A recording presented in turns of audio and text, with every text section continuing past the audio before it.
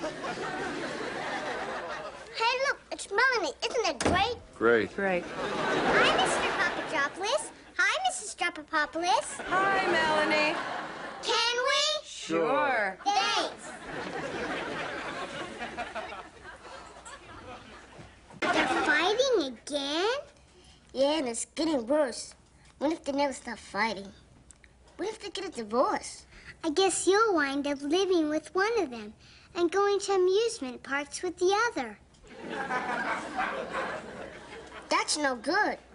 I want to go to the amusement park with both of them. Then you'd better do something. You are their kid. It's your job to keep them together. How? What do you do when your parents are fighting? I just bring out the old wedding pictures. They look at them, get all mushy, and I wind up going to bed early. That really works? You bet it does. The next morning, Mom and Dad just smile at each other and eat Cheerios. Well, it's not going to work for me.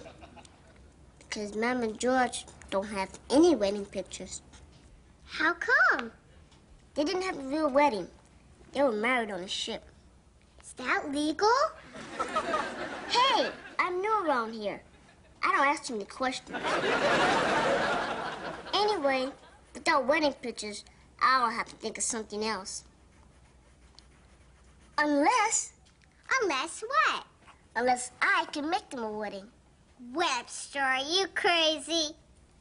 Of course not. And I know just the place. Melanie!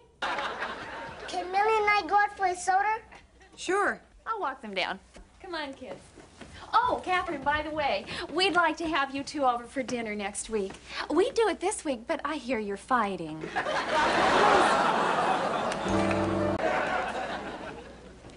Don't forget, Webster. Tell him a grown-up sent you or you won't get anywhere. Right. If you need me, I'll be right outside. Good luck. Oh, well, isn't this something? Oh, yes, it's something. So's malaria.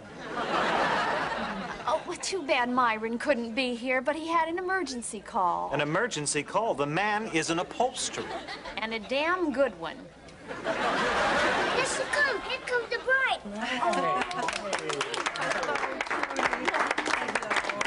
Look, lovely. Ma'am, this is Maurice. Oh, charmed, I'm oh, sure. My establishment is at your disposal. Oh, Hey, everybody, it's the bridegroom! thanks. George, where are you? Um, give me a moment. George. No, well, why would I? Let's go home and let's get him.